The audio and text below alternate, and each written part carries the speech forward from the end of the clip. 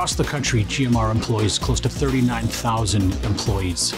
Those are employees that may be on the front lines every day to treat patients at motor vehicle accidents, wildfires, on the fire ground, in the air. GMR is in the midst of an evolution in mobile technology. What we used to call our connected ambulance strategy, we now call our connected caregiver strategy. It means when they leave the ambulance, they need to be leaving with a piece of technology that's going to provide them mobile data wherever they are. They need to know that they can go to the 12th floor of an apartment building and be able to communicate with their physician. They need to be able to transmit an EKG. They may need to be able to do a live transmission of the patient's current EKG.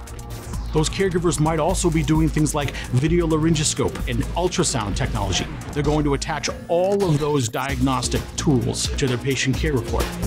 Communication is vital to patient outcomes. It's giving us the ability to have all of our key players in place at the hospital, even on our end, to have everybody ready to go.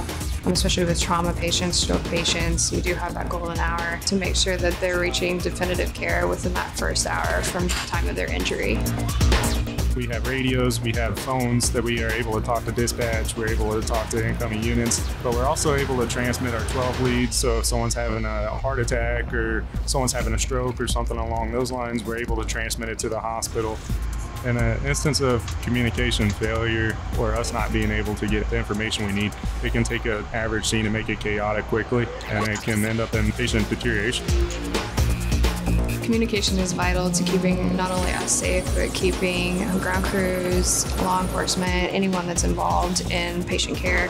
They're relaying information to us, the landing zone itself, if there's wires present, trees, anything that might be considered fog or debris that might be in the area inclement weather, if the roads are icy, icy conditions, we can tell people how to approach the scene so we don't end up injured or cause more injury to the patients.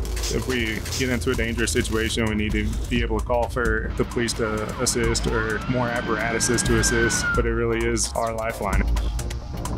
My communication centers are relying on data functionality and data coming from my ambulances. They're relying on automatic vehicle location and GPS technology to determine who's the closest, most appropriate ambulance to respond to a scene.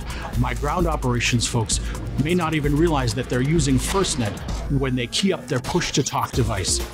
My air providers may not even know that the radio tower that they're talking to is backed up by FirstNet my caregivers in the field are relying on communications technology to make sure that they can live up to the GMR clinical standard. It's my team's role to make sure that when they push the button, it works. FirstNet plays a vital role no matter whether that incident is small or large, and everything in between.